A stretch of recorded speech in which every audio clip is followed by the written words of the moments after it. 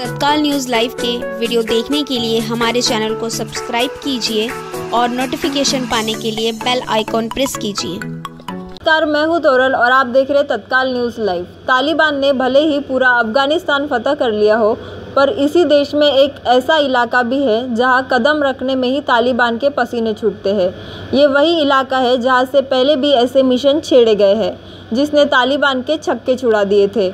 अब एक बार फिर यही इलाका तालिबान के गले की फांस बना हुआ है। इस इलाके का नाम है पंजशीर, यानी कि पाँच शेर पंजशीर फारसी शब्द है, जिसका मतलब है पाँच शेर या बब्बर शेर फारसी में शेर का मतलब बाघ की बजाय बब्बर शेर होता है। इसी वादी का नाम पाँच भाइयों के सम्मान में रखा गया था। माना जाता है कि जिन्होंने दसवीं शताब्दी में महमूद गजनी के लिए यहाँ एक दुर्गम नदी पर बाँध बनाया था। इसलिए इसे पंजशीर घाटी कहा जाता है।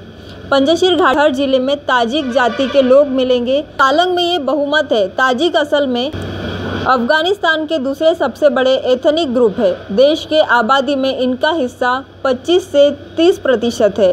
पंजशीर में हज़ार समुदाय के लोग भी रहते हैं, जिन्हें चंगेज़ खान का वंशज भी सजाता है। इसके अलावा पंजशीर में नूर सुतानी पेशई जैसे समुदाय के लोग भी रहते हैं। इसी घाटी में पन्ना, खनन का बड़ा हब तैयार हो सकता है। मध्य काल में पंजशीर चांदी खनन के लिए मशहूर था। 1985 तक वहाँ 190 कैरेट्स तक की क्रिस्टल मिले थे। ऐसा कहा जाता है कि यहाँ जो क्रिस्टल मिले, उनकी क्वालिटी कोलंबिया की मूजो खदानों में मिली। सबसे बेहतरीन क्रिस्टल जैसी है। पंजशीर घाटी अब भी तालिबान के खिलाफ मजबूती के साथ खड़ा है।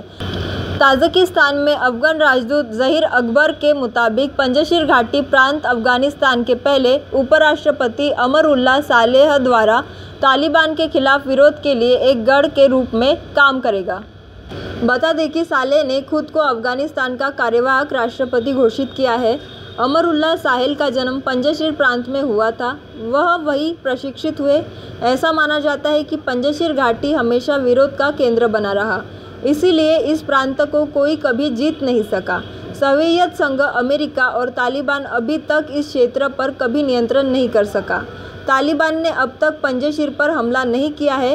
राजनीतिक विशेषज्ञ की माने तो पंजशीर घाटी ऐसी जगह है कि जहाँ पर हमला न होने का प्रमुख कारण ये है कि प्राकृतिक किला बनाता है। पंजशीर घाटी क्षेत्र का नॉर्दर्न अलायंस भी कहा जाता है। नॉर्दर्न अलायंस साल 1996 से लेकर 2001 तक काबुल पर तालिबान शासन का विरोध करने वाले विद्रोही समूह का गठबंधन था। इस गठबंधन में अहमद शाह असूल किक अमरुल्ला, सालेह करीम खलीली, आसिफ मोहसेनी, अब्दुल रशीद दोस्तम आदि शामिल थे। ये सभी पंजशीर के सबसे बड़े नेताओं में आते हैं। अफ़गानिस्तान पर जब अमेरिका बम बरसा रहा था, उस वक्त भी पंजशीर उसके पहुँच से दूर रहा। बता दें कि इस घाटी में ना तो कोई खूनी संघर्ष हुआ, ना ही कोई आपदा आई इस कारण से अमेरिकी मानवीयता कार्यक्रमों के तहत इसे मदद भी नहीं मिल सकी।